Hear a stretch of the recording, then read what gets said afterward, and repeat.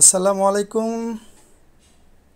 Ideal college virtual ক্লাসের পক্ষ থেকে আমি হিসাব বিজ্ঞান বিভাগের বিভাগীয় প্রধান মোহাম্মদ জাহাঙ্গীর হাসান স্যার তোমাদের সামনে উপস্থিত হয়েছি।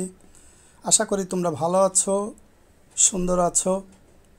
এই মহামারী করোনা ভাইরাস এবং রমজান মোবারকে বাবা মা সহ সকলের সাথে বাসায় অবস্থান করছ এবং সুন্দরভাবেই দিন কাটাচ্ছ। আমরা দোয়া করি তোমরা ভালো থাকো এবং তোমরাও আমার জন্য দোয়া করবে। আমরা যেন সবাই এই করোনা ভাইরাস খুব সুন্দরভাবে মোকাবেলা করতে পারি। আজকে আমি তোমাদের সামনে দ্বিতীয় পত্রের একটি বিষয় নিয়ে উপস্থিত হয়েছি। আশা করি তোমরা খুব ভালোভাবে বাসায় অবস্থান করছ এবং বিভিন্ন বিষয়গুলি রিভিউ করছ পড়ালেখার মধ্যেই আছো। কলেজ অনেক দিন ধরে বন্ধ আছে। তোমাদের ক্লাস নেওয়ার তেমন সুযোগ আমাদের হয়নি। আজ তাই চেহারাগুলি খুব মনে পড়ছে। মুখগুলো খুব দেখতে ইচ্ছা করছে। তাই আজ একটি ক্লাস নিয়ে হাজির হলাম। আশা করি তোমরা শুধু হিসাব বিজ্ঞানে নয়, বিভিন্ন ক্লাস তোমরা ফলো করবে। সম্মানিত শিক্ষক মণ্ডলীদের ক্লাসগুলি তোমরা অনুসরণ করবে। বাসায় বসে রিভিউ করবে। তাহলে তোমাদের সময়গুলি কেটে যাবে। আমি আজকে যে বিষয়টি বা যে অধ্যায়টি নিয়ে হাজির হয়েছি, সেটা হচ্ছে আর্থিক বিবরণী বিশ্লেষণ, যেটারকে আমরা সংক্ষেপে বলি রেশিও অ্যানালাইসিস বা অনুপাত বিশ্লেষণ। অনুপাত বিশ্লেষণ একটি দ্বিতীয় পত্রের খুব সুন্দর এবং খুব সেন্সিটিভ অঙ্ক। এই অঙ্কটি তোমরা যদি করতে চাও, শিখতে চাও, তাহলে তোমাদেরকে কয়েকটি বিষয়ে মনোযোগী হতে হবে। যেমন এর প্রত্যেকটির একটি ফর্মুলা বা সূত্র আছে, সেটি মুখস্থ করতে হবে এবং সেই সূত্রগুলির যে সাব সূত্র আছে, সেগুলি তোমাদের সুন্দরভাবে কালেক্ট করা শিখতে হবে এবং আদর্শ মান একটা স্ট্যান্ডার্ড প্রত্যেকটা অনুপাতের আছে, যেটাকে তোমাদের মন্তব্য লেখার জন্য প্রয়োজন হবে। মন্তব্য যদি লিখতে বলে, তাহলে আদর্শ মান অবশ্যই মুখস্থ রাখতে হবে। এই তিনটি জিনিস রাখলেই তোমরা অনুপাত বিশ্লেষণ করতে পারবে। এবং মনে রাখবে যে অনুপাত বিশ্লেষণ খুব স্বল্প সময়ে, অর্থাৎ টাইম ম্যানেজ টাইম ম্যানেজমেন্টের ক্ষেত্রে অনুপাত বিশ্লেষণ অত্যন্ত গুরুত্বপূর্ণ এবং সহায়ক ভূমিকা রাখতে পারে দশ নম্বর সহজে পাওয়ার জন্য। আমি অনুপাত বিশ্লেষণ পড়ানোর আগে অনুপাত বিশ্লেষণের একটি উদ্দীপক দিব এবং সেটাকে তোমাদের সামনে সলিউশন করে দিব। তার আগে আমরা যদি একটু জানতে চাই অনুপাত বিশ্লেষণটি কী, আশা করি তোমাদের সবার কম বেশি মনে আছে যে অনুপাত বিশ্লেষণটা হচ্ছে কোনো একটি বিষয়ের তুলনামূলক চিত্র যখন আমরা সংখ্যা দিয়ে প্রকাশ করি, তাকে অনুপাত বিশ্লেষণ বলে। অনুপাত বিশ্লেষণ হলো তাহলে কোনো জিনিসের ভালো বা মন্দের একটি সংখ্যাত্মক প্রকাশ, সংখ্যাত্মক তুলনামূলক চিত্র। আর অনুপাত বিশ্লেষণকে আমরা ভাগফলের মাধ্যমে প্রকাশ করি। অনুপাত বিশ্লেষণ বের করতে গেলে কোনো একটা জিনিসকে আরেকটি জিনিস দিয়ে বা কোনো একটি অ্যামাউন্টকে আরেকটা অ্যামাউন্ট দিয়ে ভাগ করতে হবে। আদারওয়াইজ অনুপাত কিন্তু বিশ্লেষণ বা অনুপাত বের হবে না। যাই হোক তাহলে আমরা এখন অনুপাতের একটি উদ্দীপক দেখি এবং সেই উদ্দীপকটি সলিউশন করে দেখাবো, তোমরা মনোযোগ দিয়ে খেয়াল করবে। আমরা অঙ্কটি যদি পড়ি, তাহলে দেখব বেক্সিমকো কোম্পানি লিমিটেডের আর্থিক বিবরণী এটি উনিশশো দুই সালের একত্রিশে ডিসেম্বর সমাপ্ত বছরের জন্য। আধুনিক পদ্ধতি অনুসারে এখানে দেওয়া আছে উপরে সম্পদগুলি দেওয়া আছে, নিচে দায় মালিকানা সত্ত্ব দেওয়া আছে। সনাতন পদ্ধতি অনুসারে এটা অনেক সময় এই পাশে দায় মালিকানা সত্ত্ব এই পাশে সম্পদ সমূহ দেওয়া থাকতে পারে আর নিচে কিছু অন্যান্য তথ্য দেওয়া থাকবে যেটি তোমরা খেয়াল করবে। আবার কখনো কখনো হিসাবগুলি মিক্সিংভাবে, এলোমেলোভাবে দেওয়া থাকতে পারে, ওটা কোনো সমস্যা না। তোমরা যদি সুন্দরভাবে এটা বুঝে থাকো, তাহলে তোমরা যেভাবেই দেওয়া হোক তোমরা সলভ করতে পারবে। আমরা সম্পদগুলো যদি একটু খেয়াল করি, তাহলে দেখো কল কবজা দেওয়া আছে, যেটা স্থায়ী সম্পদ। অনুপাত বিশ্লেষণের ক্ষেত্রে স্থায়ী সম্পদের কোনো তেমন ব্যবহার নাই। দশ পার্সেন্ট বিনিয়োগ, যেটাকে আমরা দীর্ঘমেয়াদী সম্পদ বলি এবং সেটি স্থায়ী সম্পদ হিসাবেও কাউন্ট হয়। সমাপনী মজুত পণ্যকে আমরা বলি চলতি সম্পদ, প্রাপ্য হিসাবকে বলি চলতি সম্পদ, নগদ ও ব্যাংক হিসাবকে বলছি আমরা চলতি সম্পদ, অগ্রিম বেতনকে আমরা চলতি সম্পদ বলি।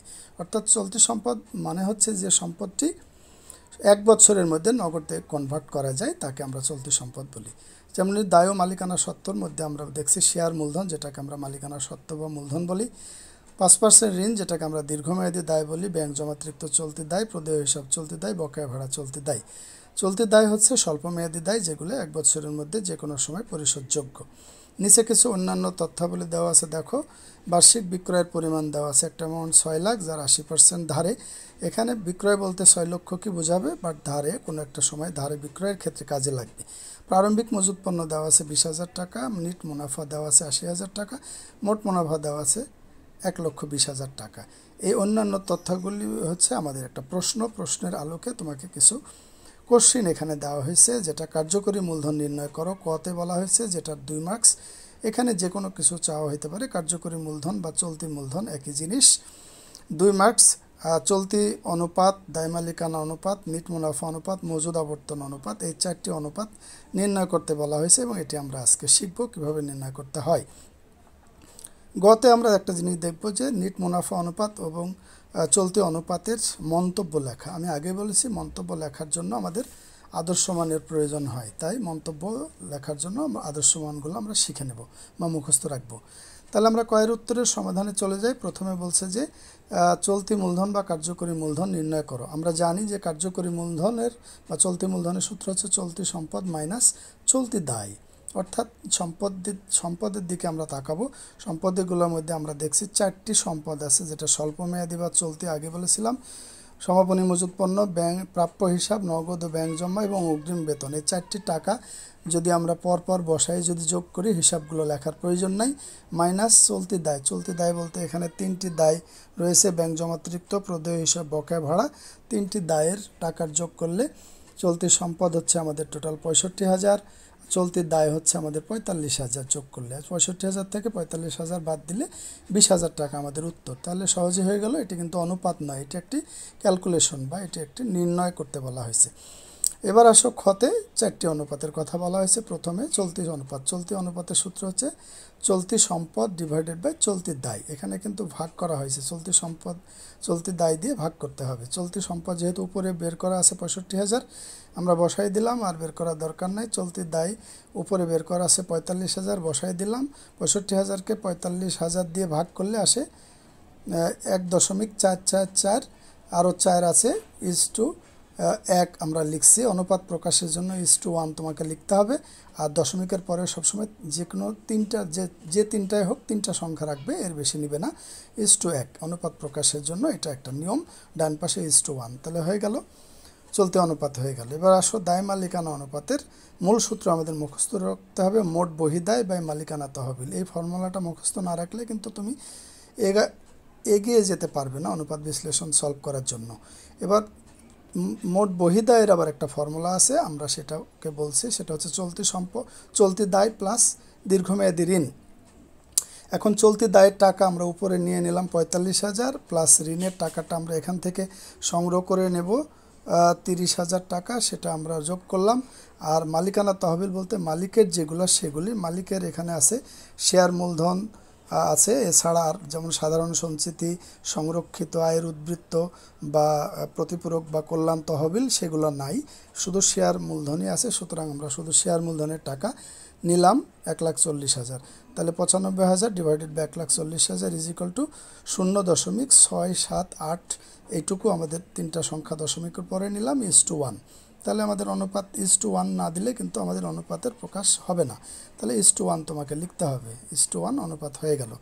এবার আসো আরেকটি ধরনের অনুপাত, সেটা হচ্ছে নিট মুনাফা অনুপাত। নিট মুনাফা অনুপাতের মূল সূত্র তোমাকে মনে রাখতে হবে নিট মুনাফা উপরে গুণ একশো, উপরে নিচে নিট বিক্রয়। এখন নিট মুনাফা তোমার কোশ্চেনের মধ্যে দেওয়া আছে আশি হাজার, আর বিক্রয় দেওয়া আছে ছয় লাখ, আর ইন্টু একশো তো বসাই দিলাম, দেওয়ার পরে আশি হাজার ইন্টু একশো দিয়ে গুণ করে ছয় লক্ষ দিয়ে ভাগ করলে আসে তেরো দশমিক তিন তিন তিন তিন তিন। এভাবে দশমিকের পরে তিনটা সংখ্যা রাখলাম, তেরো দশমিক তিন তিন তিন তিন। এবং এখানে তোমাকে একটা পার্সেন্টেজ ইউজ করতে হবে, কারণ একশো দিয়ে গুণ করা থাকলে সেটাকে পার্সেন্টেজ দিয়ে ইউজ করতে হয়, সেখানে ইস্টু এক লেখা যাবে না। যে কয়টি সূত্রতে একশো দিয়ে গুণ আছে, সেখানে তোমরা পার্সেন্টেজ ব্যবহার করবে, বুঝতে পেরেছ?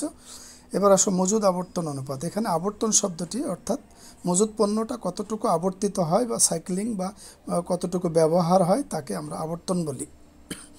তাহলে মজুদ আবর্তন অনুপাতের সূত্র তোমাকে মনে রাখতে হবে, সেটা বিকৃত পণ্যের ব্যয় ডিভাইডেড বাই গড় মজুদ। এখন বিকৃত পণ্যের ব্যয় কোশ্চিনে দেখো, উদ্দীপকের মধ্যে সরাসরি দেওয়া নাই, কিন্তু বিকৃত পণ্যের ব্যয়ের একটা ফর্মুলা আছে, বিক্রয় মাইনাস মোট মুনাফা। এখন তোমরা উদ্দীপকের মধ্যে বিক্রয় পাবে মোট মুনাফা পেয়ে যাবে আর নিচে গড় মজুদ হচ্ছে দুটি মজুদের যোগফল, প্রারম্ভিক মজুদ প্লাস সমাপনী মজুদ ভাগ দুই। এখন যদি শুধু সমাপনী মজুদ থাকে, প্রারম্ভিক মজুদ না থাকে, তাহলে সেখানে দুই দিয়ে ভাগ করার প্রয়োজন নাই। শুধু সমাপনী মজুদ পণ্যে টাকাটা বসায় দিবে, তাহলেই হয়ে যাবে। তাহলে উপরে আমরা বিক্রয় ছয় লাখ মাইনাস মোট মুনাফা এক লাখ বিশ হাজার, নিচে প্রারম্ভিক মজুদ পণ্য বিশ হাজার প্লাস সমাপনী মজুদ পণ্য তিরিশ হাজার, ভাগ দুই, তাহলে এটা মান বসাইলে আমরা উপরেরটা মাইনাস করলে চার লাখ আশি হাজার ডিভাইডেড বাই দুটা যোগ করে দুই দিয়ে ভাগ করলে পঁচিশ হাজার, ভাগ করলে আসে উনিশ দশমিক দুই। এখানে লিখতে হবে বার আমি আগেও বলেছি যে আমাদের প্রথমে যে চলতি, তড়িৎ দায় মালিকানা কার্যকরী মূলধন সেগুলোর ক্ষেত্রে ইস টু ওয়ান ব্যবহার করব। আর যে সূত্রগুলো একশো দিয়ে ভাগ গুণ আছে, সেখানে আমরা পার্সেন্টেজ ইউজ করব। আর যে সূত্রগুলো আবর্তন লেখা আছে, যেমন মজুদ আবর্তন, প্রাপ্য হিসাব আবর্তন, সেক্ষেত্রে আমাদের বার কথাটা লিখতে হবে অথবা গুণ লিখলেও হবে। তাহলে উনিশ দশমিক দুই বার। এটা উত্তর তাহলে চারটি অনুপাত আমরা বুঝতে পারলাম। আমাদের সময়ের স্বল্পতার কারণে আমরা আবার রিভিউ করতে পারলাম না। তোমরা সূত্রগুলো মুখস্থ করার চেষ্টা করবে। তাহলে তোমরা মান বসাতে পারবে। আমি নেক্সটে আবারও একটি অঙ্ক করে দেখাবো।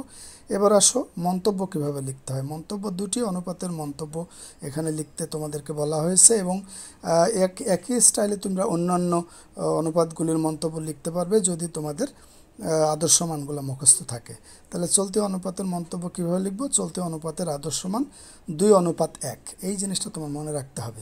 এবং আমাদের নির্ণয়কৃত, অর্থাৎ এই প্রতিষ্ঠানের যে আমরা নির্ণয় করলাম, সেটার মান ছিল এক দশমিক চার চার চার ইস টু এক। এখানে বলছে, যা গ্রহণযোগ্য নয়। অর্থাৎ, আদর্শ মানের চাইতে আমাদের নির্ণয়কৃত মান যদি ছোট হয় বা কম হয়, তাহলে লিখব গ্রহণযোগ্য নয় বা সন্তোষজনক নয়, আর যদি বেশি হয়, তাহলে আমরা লিখব গ্রহণযোগ্য বা সন্তোষজনক। আরেকটি দেখো, নিট মুনাফা অনুপাত।